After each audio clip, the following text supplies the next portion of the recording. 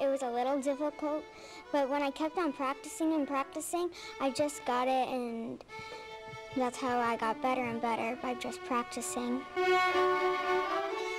Students play classical masterpieces by Bach and Mozart, and they can't get enough. I think it's like an awesome experience. It's fun. You get to learn about a lot about the violin. It even has fourth grader Anthony Mayorga looking for a future career in music.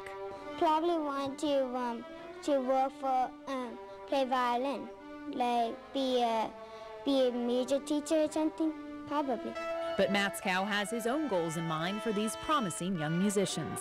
I want these kids to, to develop a lifelong appreciation for fine music and see that if they put their effort into learning to play an instrument, they can learn anything.